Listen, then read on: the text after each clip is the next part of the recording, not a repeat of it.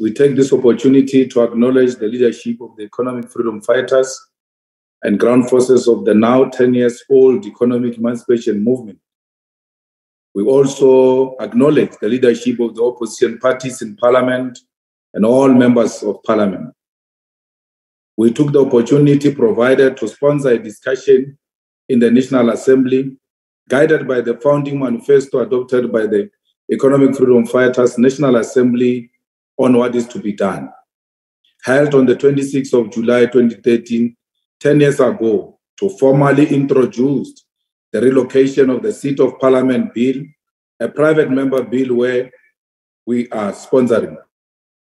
There are both political and practical reasons why this bill is important and will deal with both of them.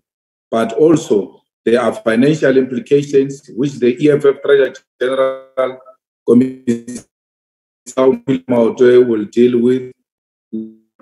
The EFF founding manifesto calls for the one city, Tshwane, as the administrative and legislative capital of South Africa. Politically, the decision to have the legislative capital in the city of Cape Town, while the administrative capital is in Tshwane, is as a result of the Anglo-Boer War Vereeniging Peace Agreement between the Boers and the British, signed in 1902. This agreement brought an end to the Anglo-Boer War.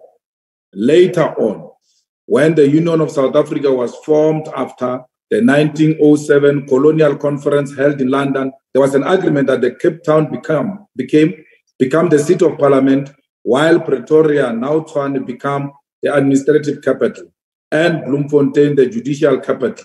Africans were not represented because we were treated as less than human beings with no right to self-determination. Today, we do not we do not have a reason to continue upholding this colonial and racial pact that the Liberation Party has imposed on our people. This is the same party that continues to impose the stamp in the national anthem on all of us. The same way they continue to impose on us Paul Kruger at Church Square in Tshwane, the statue of Louis Botha here outside Parliament, and the colonial imperialist racist Victoria behind the National Council of Provinces chambers. The ANC continues to uphold and defend the colonial and apartheid racist pact that was made and never envisaged that one day will attain political freedom to self-determine determine as people in charge of their own destiny, including deciding on the seat of parliament and administration, administrative arms of the state. The ANC continues to uphold and protect the colonial and racist economic pact to exploit and exclude Africans from participating in the economy as anything more than cheap labor. This and many other colonial and racist apartheid pacts and agreements continue to maintain and uphold the political and economic structure that benefits just under 5 million people out of the total population of more than an estimated 60 million. All those who continue to benefit from the colonial and racist apartheid pacts protected by the Liberation Party are the ones who will object to the bill that seeks to address the senseless and irrational arrangement in democratic South Africa. House Chair, over and above the need to address the political question, the need to take a decision ourselves that we can proudly claim as our own and a decisive break with, with the past to continue to insist that we retain parliament here in Cape Town has a serious democratic and political consequences. The National Assembly and National Council of Provinces are elected by the people to represent the people. We are elected to provide national forum for public consideration of issues that affect all our people. Section 59 of the Constitution demands that the National Assembly facilitate public involvement in the legislative and other processes of the Assembly and its committees. The reality and experience of past post apartheid South Africa for many of our people is that Parliament is nothing but an institution that forms part and parcel of elitist and inaccessible institution, both politically and practically. They cannot access this place. They cannot afford to travel to Cape Town to participate in any of the assembly, council, or committee meetings. East London is more than 1,000 kilometers from Cape Town. Gqeberha is more than 700 kilometers from Cape Town. Bloemfontein is more than 1,000 kilometers from Cape Town. Kimberley is more than 950 kilometers from Cape Town. Tshwane is more than 1,400 kilometers from Cape Town. Polokwane is more than 1,709 kilometers from Cape Town. Nelson to Cape Town is more than 1,700 kilometers away. Durban to Cape Town is approximately 1,600 kilometers. Rustenburg is more than 1,400 kilometers away from Cape Town.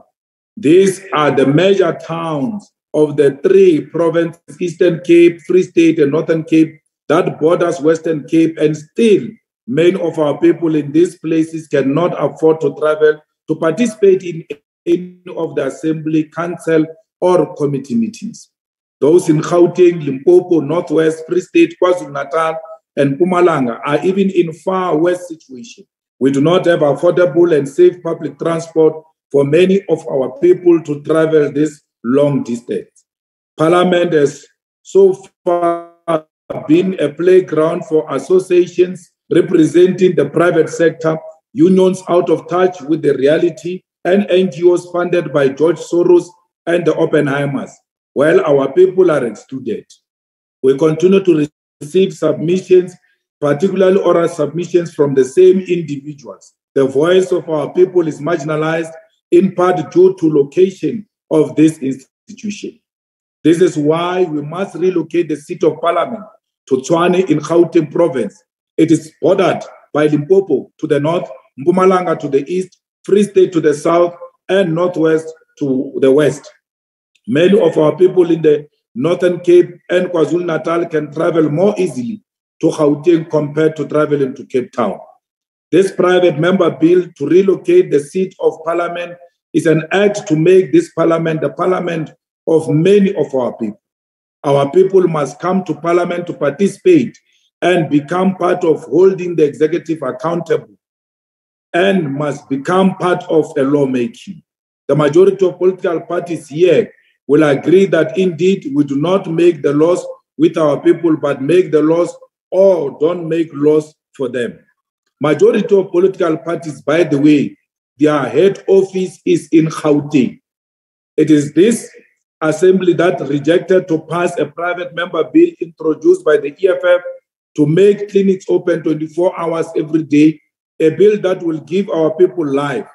This is while the city of Cape Town has more than 90 clinics that provide dependable and reliable primary health care services. It is this very parliament that refused to amend the constitution to allow for expropriation of land without compensation for equal redistribution in use, a legislation that will break our past with colonialism and apartheid. That debate on beneficiation of our minerals will never be relevant for as long as the land is not owned by the people of South Africa. Our people must come to parliament to engage as we hold the executive accountable. They will know that members of the ANC abuse majority to prevent, abuse their majority to prevent Parliament from investigating corruption at Eskom when there is evidence by one of the most senior officials, a former CEO, that senior officials, including members of cabinet, are stealing money at Eskom, subjecting all of us to preventable and avoidable electricity blackouts. Our people must know that Parliament was told by an independent panel chaired by former Chief Justice Sandile Ngcobo that there is a prima facie evidence that Mr. Cyril Ramaphosa failed to report the theft of his farm, uh, the theft on, on his farm to any police official as required by law. The independent panel report found that Mr. Cyril Ramaphosa may have committed a serious violation of Section 34, subsection 1 of the Prevention and Combating of Corruption Activities Act. Even with this evidence, the ANC once more abuses its majority and rejected any attempt to hold the president accountable. Our people must come to Parliament and witness this madness. We will relocate Parliament to Tshwane in our lifetime. The, the time has come, and there is nothing anyone can do about it. Whether someone likes it or not, the apartheid pact, the colonial pact, shall be broken by this generation. Whether you agree with it today or tomorrow, our generation will relocate this parliament to Tshwane and make sure that majority of our people have access to this parliament. The administration and legislature must be put in one place to make the accountability of the executive more easier and to make the legislators to hold the executive accountable more easier. I thank you, the House Chair.